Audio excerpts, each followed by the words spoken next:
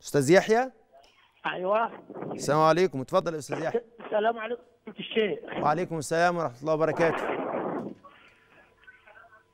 آه يا أستاذ يحيى أنا أطمع بس إن حضرتك توطي التلفزيون وتسمعني من التليفون لو سمحت. حاضر يا فندم حاضر يا عم حاضر.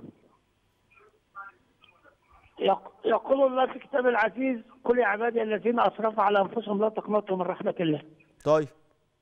أنا أنا خليني أنا عملت ذنوب وتبت وربنا كرمني وماشي كويس وسنيت وعليا دين لناس في نيتي بيني وبين ربنا هسده. هل ده يكون سبب إن ربنا ما يستجابليش الدعاء؟ هجاوب على حضرتك حاضر. الشخص اللي هو عليه دين والدين ده هو مش قادر يسدده ومتعسر. الله سبحانه وتعالى لا يكلف الله نفسا إلا وسعها.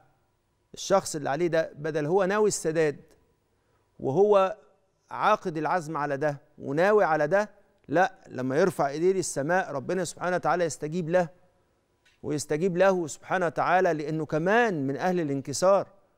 ما هو الدين دوت يخلي الواحد نفسه منكسرة. فعشان كده الله سبحانه وتعالى عند المنكسرة قلوبهم. بالعكس لو هو عليه دين وناوي هو يسده وبيجتهد إن هو يسده وربنا عالم منه الصدق ده ده يكون سبب من أسباب إن ربنا سبحانه وتعالى يفرج عليه. ولذلك وعليه يحمل قوله صلى الله عليه وسلم إن الله حي يستحي من العبد أن يرفع يديه ثم يردهما سفرا خائبتين. فلا الشخص دوت يستجاب له. ربنا يستجاب له ويفتح عليه إن شاء الله. معانا أم عبد الرحمن؟ السلام عليكم. وعليكم السلام ورحمة الله وبركاته.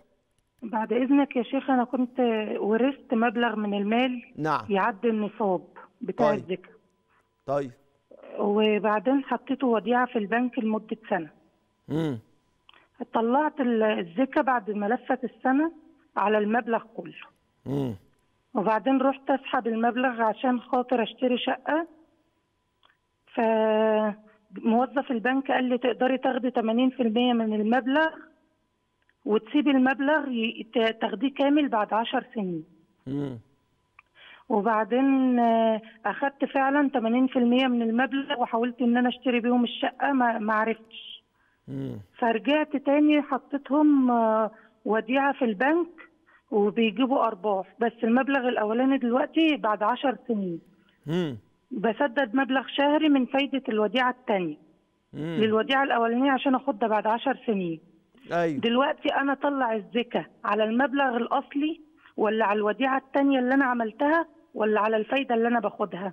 طيب يا ستي أنت دلوقتي عندك دلوقتي لازم أسألك سؤال أنت دلوقتي عندك حاجة غير الودايع دي تصرفي منها ولا بتصرفي من الوديعة؟ أنا ربنا يبارك في زوجي يعني هو بيصرف عليا الحمد لله. فالفلوس دي ما بتصرفيش منها؟ لا أنا دلوقتي بصرف بعد الغلا اللي إحنا فيه كده بدأت أصرف منها. طيب خلاص. انت دلوقتي عندك وديعة محبوسة لأن انت خدت منها 80% منها وبعدين خدت ال 80% ديت لما ما- قدرتيش تشتري الشقة حطيتيها مرة تانية. تمام كده؟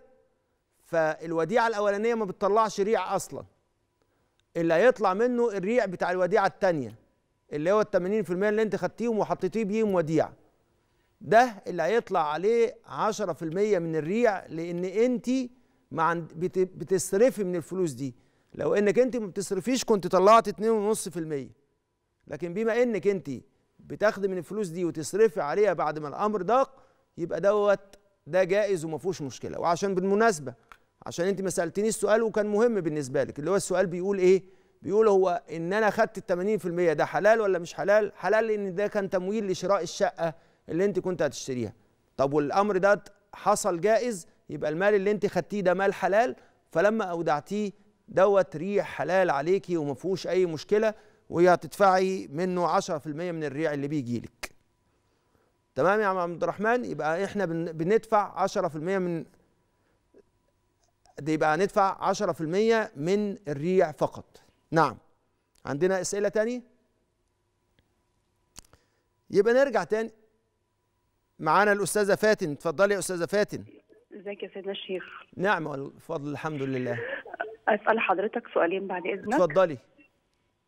آه، أول سؤال بالنسبة للظلم وحد خطف أعراض حد ده عقوبته إيه؟ والواحد إزاي يلجأ لربنا ويدعي بإيه عشان يسترد حقه؟ طيب يبقى عندنا سؤالين. سؤالين مم. في مسألة الظلم دي. السؤال الأولاني آه، إيه عقوبة ال- اللي بيخوض في أعراض الناس؟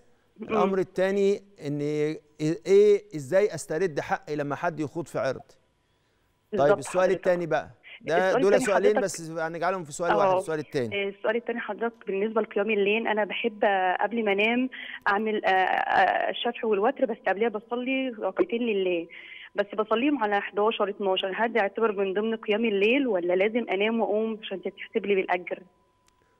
إحنا لو خلاص هجاوب على حضرتك. السؤال الأولاني إيه عقوبة الشخص اللي بيخوض في الأعراض اللي بيخوض في الأعراض لازم نعرف كده.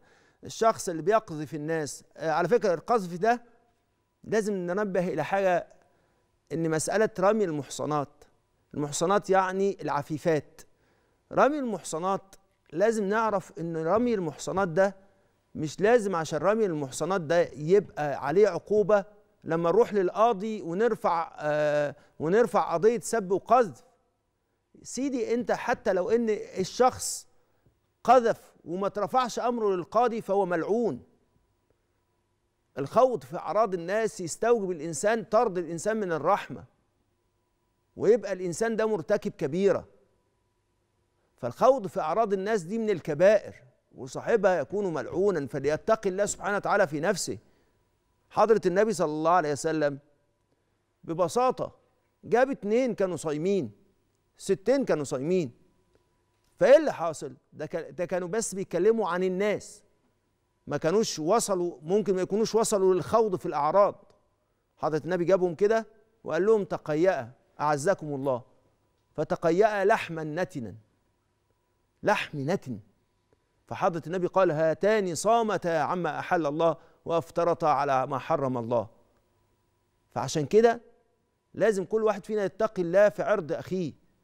وما يلوش دعوة بعرض أخيه خالص. يتقي الله سبحانه وتعالى. وحتى هو لو شاف حاجة حرام لما يطلب للشهادة يبقى يروح يشهد عند القاضي. لكن هو ما شافش حاجة وما عرفش حاجة ويخوض في أعراض الناس عشان فلان قال له كلمة أو فلان عمل معاه موقف فيدخل نفسه ويعرض نفسه للنار ويعرض نفسه لسخط الله وغضب الله. يا جماعة وقفوا شويتين ثلاثة الكلام اللي بيحصل ده على ال social media. نتقي الله.